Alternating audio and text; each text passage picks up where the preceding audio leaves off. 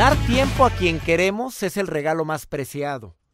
Es posible dar sin amar, pero imposible amar sin dar.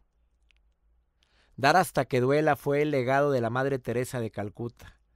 Es posible dar sin condiciones y aparentemente sin esperar nada a cambio, pero es imposible amar sin dar. Quien ama verdaderamente hace del servicio un hábito y busca la forma de agradar, ayudando y sirviendo. Sentirme útil para ti me hace sentir más valioso y me ayuda a demostrarte cuánto te quiero. Si quieres conocer los libros y conferencias del Dr. César Lozano, da clic en la descripción de este video.